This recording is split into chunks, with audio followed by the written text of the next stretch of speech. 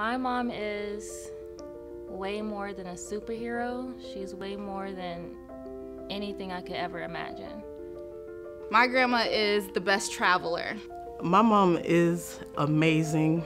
My mom is superwoman. All right, let me tell you about my mama. My mama spoils me so much. I used to hang on her leg as I was younger. And she used to carry me around the whole house as she cooked and cleaned.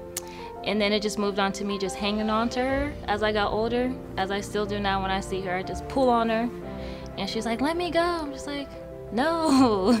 So I have a very big attachment to my mom. My mom passed away when I was five, so I was raised by my grandma.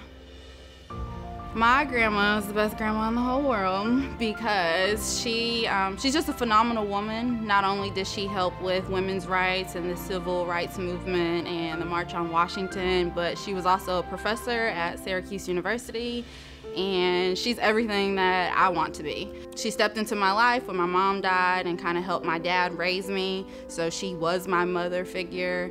Um, my dad went to school full time, so I literally was with my grandma all day, every day. Um, she just taught me to be the woman I am now and the mother I am now to my two girls. So I appreciate her and I love her very much.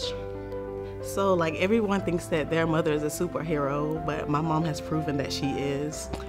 Uh, about four years ago, my brother, who was 26 year six years old, was was terminally ill, and the hospice came to the hospital to admit him into hospice, and she refused to let them take him. She told him that she would take him home and let him die with people that he knows.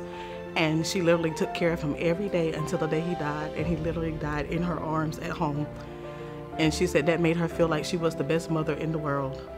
That made me feel like, you know, no matter what I went through or what I faced, that I could survive. For her to survive that, the, the losing a child, that I could survive as well.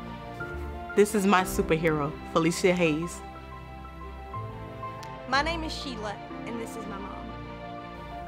Who is my mom? Um, I would say she is a hard worker, she's dependable, she's dedicated, she's also a great person. If I were to explain her in one word, it'd be love. She dedicated her life to raise me and my brother by herself, and I am who I am today because of my mother.